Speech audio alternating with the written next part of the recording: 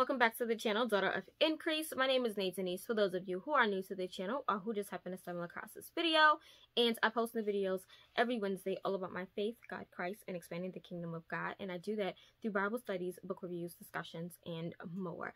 So, as the title says above, this is well, it was supposed to be the introduction before book club started, but book club officially starts today, which is February 12th. So I highly apologize. I meant to have everything done before then, but a lot's been going on if you guys saw my update.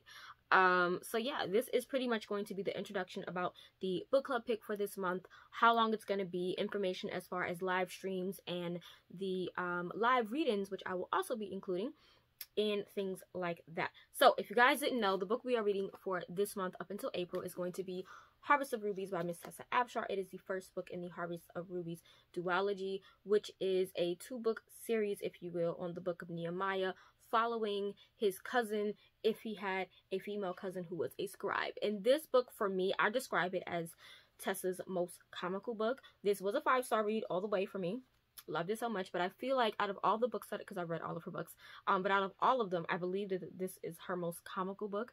Um the messages and themes in this book are so amazing and phenomenal and i love it so much. It is based on the book of nehemiah. So nehemiah does have a lot of wisdom that is thrown into this book and i love it so much. So i cannot wait to reread this with you all starting today. I will actually be starting tomorrow and we are going to be reading three chapters a week. Now i'm not sure if that's going to be doable for most people because i'm just a book nerd so i can read read pretty quickly. And I know a lot of you guys are not bookworms like that. You guys prefer to read a chapter or something like that.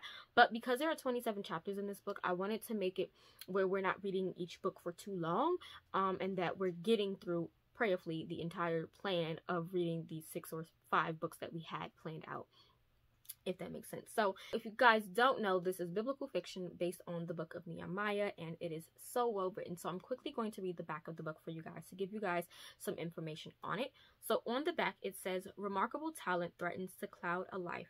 The prophet Nehemiah's cousin has been catapulted into the center of the Persian court, working long hours, rubbing elbows with royalty, and becoming the queen's favorite scribe. Not bad for a woman living in a man's world. But a devastating past has left Sarah believing that God doesn't love her and her achievements are the measure of her worth, a measure she can never quite live up to. Darius Pasargadae is accustomed to having his way. A wealthy and admired aristocrat, the last thing he expects is an arranged marriage to the queen's scribe, an intelligent woman who scorns him. Can two such different people help one another overcome the idols that bind them? And this book is so good at really showing the different idols that we have in our lives, not just physical idols of statues, but how we can make our achievements and our working long hours and how we can make other people our idols instead of really focusing on God. And um, it definitely comes into play with both Darius and with Sarah because they both have different idols that you'll see. Um, and this book is just so beautifully written. As you guys can see, my tabs are all in here. I have read this book multiple times. So I'm actually going to be taking my tabs out and redoing my tabs because I'm rereading it. But as you guys can see, I write in my book. So I'm so excited for that. So I do have a reading schedule if you guys are interested in printing one out. And here is what it looks like. So you get the schedule from February to April. And this is just as far as like the chapter breakdowns, reading the chapters. So from today, February 12th until February 18th, we will be reading chapters 1 to 3. You can annotate, you can take notes, you can highlight, you can mark, however you want to do it. If you are in need of a copy of this book, an e-copy of this book, please let me know. I will leave my email link down below um, so you guys can email me and just let me know and I can definitely get you a ebook copy of the book if you require it. But um yeah. So we're gonna be doing live discussions and a live reading so live discussions will happen every two weeks. That way we have at least six chapters of content to discuss. So the first live reading will most likely be on february 27th that gives you time to read chapters one through six. And the first live read in did I say live reading or did I say live discussion? The first live discussion will be will be on February 27th. That's a Saturday. And then the following one will happen, if I'm not mistaken, on March 13th. Look down below because I don't have all the dates written down. I just have the first date. So the first date will be on February 27th. That gives you time to read those six chapters.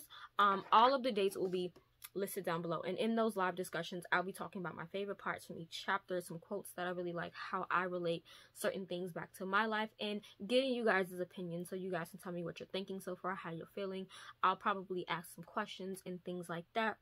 Um, and then we will also have live read-in. So a live read-in or a reading sprint, as what we call it in the book community, um, is basically where I will come on camera on whatever day, probably the week before the live discussion. And um, I will probably do it for an hour. Just we'll be together for an hour reading the book. So if you have a copy of the book, whether physical or e-copy, we'll spend time reading it. We'll probably do it in 30 minute increments. We'll have fun discussions, talk about life, read some, talk about life, read some. That way we're having that balance of getting the book read, but also enjoying the time of reading if that makes sense. So i'm super super excited for that. And um hopefully i can have the first one be on february 20th that's a saturday. I'm not sure exactly what time. We'll see. But february 20th i do want to have the first live read in um here on youtube and facebook and hopefully instagram if i can figure out how to get that going. Um and then the first live discussion will be on saturday february 27th so i think every other saturday will be either a live discussion or a live read in all the dates will be down, down below because as I'm thinking this through, I'm figuring out dates. So by the time I finish and edit this video, all the dates will be down below for you guys.